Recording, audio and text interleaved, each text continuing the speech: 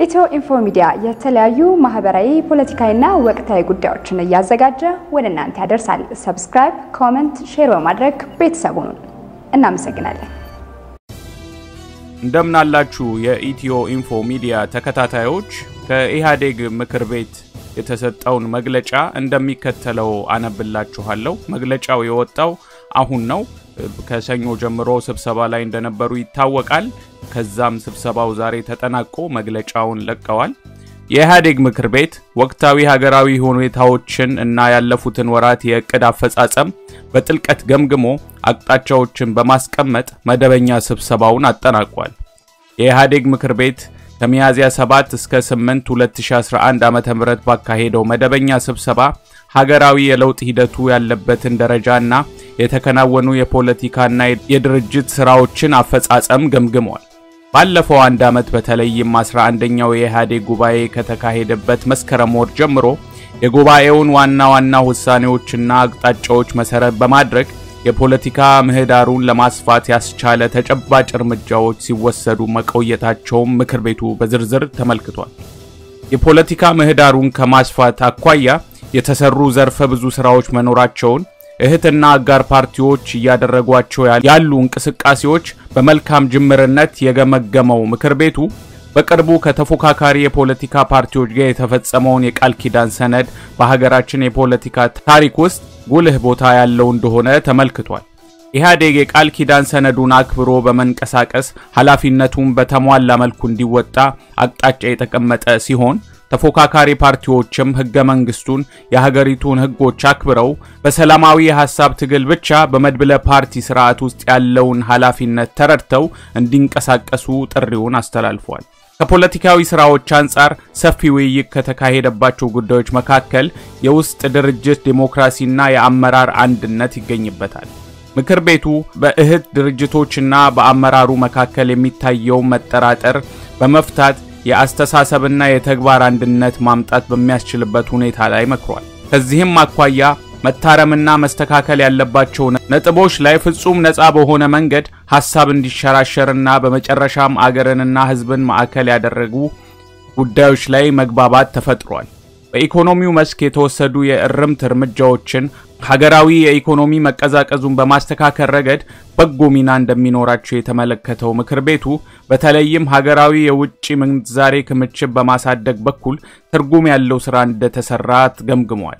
በዚህ መስክ መሻሻሎች እየታዩ ቢሆኑም ከፍተኛ የሥራ አጥነት፣ የውጭ ምንዛሬ እጥረት፣ የብድር ጫና ችግሮች በአግባቡ ያልተቀረፉ በመሆናቸው መዋቅራዊ መፍትሄ ለመስጠት መረባረብ እንደሚገባ ምክር ቤቱ አስምሮበታል። የወጣቶችን የተሳታፊነትና የተጠቃሚነት ጥያቄዎች በተለይም የሥራ አጥነት ችግር ለመፍታት እስካሁን የተደረጉ ጥረቶች ያሉ ቢሆንም ከችግሩ ስፋትና ፍላጎት አንጻር አሁንም ከለውጡ በሚገባው ደረጃ ያልተጠቀሙበት ሁኔታ መኖሩን ምክር ቤቱ በአጽንኦት ገምግሟል። የወጣቶችን የተሳታፊነትና የተጠቃሚነት ጥያቄዎች በተለይም የሥራ አጥነት ችግርን ለመፍታት እስካሁን የተደረጉ ጥረቶች ያሉ ቢሆንም ከችግሩ ስፋትና ፍላጎት አንጻር አሁንም ከለውጡ በሚገባው ደረጃ ያልተጠቀሙበት ሁኔታ መኖሩን ምክር ቤቱ በአጽንኦት ገምግሟል። በተጨማሪም ወጣቶቹ ያሏቸውን የፖለቲካ ተሳትፎ ጥያቄዎች ገና በተሟላ ሁኔታ አለመመለሳቸውንም አይቷል። በመሆኑም የወጣቶች ተጠቃሚነት ጉዳይ በቀሪ የበጀት ዓመቱ ወራት ልዩ አገራዊ አጀንዳና የርብርብ ማዕከል እንዲሆን ምክር ቤቱ ወስኗል። በየአካባቢው የሚታዩ ከመልካም አስተዳደርና ከዚያም ጋር ተያይዞ የሚነሱ የሕዝብ ቅሬታዎችን ለመፍታት የተጀመረውን የሪፎርም ሥራ አጠናክሮ ማስቀጠል እንደሚገባ በአጽንኦት ተመልክቷል። ምክር ቤቱ በጸጥታና ፍትህ ስርዓት ላይ የተካሄደው ሪፎርምና የተወሰዱ የመፍትሄ እርምጃዎች በሀገራችን ላይ አንዣቦ የነበረውን የመበታተን አደጋ በመቀልበስ ሀገራዊ አንድነታችንን ለማስጠበቅ የላቀ ሚና እንደነበራቸው በመገምገም የሕግ የበላይነትን በማስከበር ረገድ ያሉ ክፍተቶች መታረም እንዳለባቸው ግልጽ አቅጣጫ አስቀምጧል። ከዚህም አንጻር ማንኛውም ለግጭትና አለመረጋጋት የሚዳርጉ ሁኔታዎች በግልጽ ተለይተው በአስቸኳይ መታረም እንዳለባቸውና መንግስትም ሕግን የማስከበር ቁልፍ ኃላፊነቱን በጥብቅ መወጣት እንደሚገባው የጋራ ስምምነት ላይ ተደርሷል። ከዚህም አኳያ ክልሎችና የየአካባቢው መዋቅር የየራሳቸውን ሕገ መንግሥታዊ ግዴታ እንዲወጡ አቅጣጫ አስቀምጧል። ባለፉት ጊዜያት በአንዳንድ አካባቢዎች በተከሰቱ ችግሮች ምክንያት የተፈናቀሉ ዜጎች ጉዳይ ላይ በጥልቀት የተወያየው የኢህአዴግ ምክር ቤት ችግሩን ከመሰረቱ ለመፍታት ከሚደረገው ጥረት ጎን ለጎን ተፈናቃዮችን ወደ ቀያቸው ለመመለስ አስፈላጊውን ጥረት እንዲደረግ አጽንኦት ሰጥቶበታል። ከሁሉም ጎረቤት ሀገራት ጋር መልካም ወዳጅነት መመስረቱና በጋራ ተጠቃሚነት ላይ የተመሰረተ ትብብር እየተካሄደ መሆኑን የገመገመው ምክር ቤቱ በተለይ ከኤርትራ መንግስት ህዝብ ጋር የተጀመረው ግንኙነት ሁለቱ ሀገራት ያሏቸውን ባህላዊ የኢኮኖሚያዊና ማህበራዊ ትስስር የሚያጠናክሩ እድሎችን አሟጦ መጠቀም በሚያስችል መልኩ ተጠናክሮ እንዲቀጥል ወስኗል። የኢህአዴግ ምክር ቤት ለውጡ ሰፊና ህዝባዊ መሰረት ይዞ እንዲቀጥል ሰላም፣ ልማት፣ ዴሞክራሲና መልካም አስተዳደር ማስፈን፣ ፍትህን ማረጋገጥ እንዲሁም ሀገራዊ አንድነትንና ሀገራዊ ክብርን ማረጋገጥ ለነገ የማይባሉ የድርጅቱ ቀዳሚ ተልዕኮዎች መሆናቸውን አስቀምጧል። በመሆኑም እስካሁን የተመዘገቡ ስኬቶችንና ድሎችን የሚያሰፋና ጉድለቶችን የሚያርሙ እንቅስቃሴዎችን በጊዜ የለንም መንፈስ መፈጸም እንዳለባቸው አቅጣጫ አስቀምጧል። በዋና ዋና ሀገራዊ ኢኮኖሚያዊ አውታሮች ግንባታ ላይ በጥልቀት የመከረው ምክር ቤቱ እስካሁን የተመዘገቡ ውጤቶች እንደተጠበቁ ሆነው በቀጣይ ጊዜ በተለይም ለመስኖ ልማት የሚሰጠውን ትኩረት እንደተጠበቀ ሆኖ በቀሪው ወራት በመኸር ስራ ላይ መረባረብ እንደሚገባ አቅጣጫ አስቀምጧል።